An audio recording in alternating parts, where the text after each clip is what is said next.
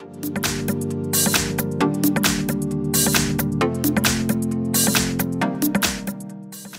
Hi everyone, here we've got a Vivo V20 and let me share with you how to clear credentials on this device.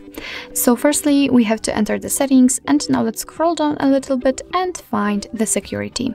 Now let's scroll down again in order to find encryption and credentials and at the very bottom of this list we've got clear credentials option. So all you have to do is to simply tap on it. Your device will ask you if you really want to do it, but just tap on OK, and here we've got the information that the credential storage has been erased successfully.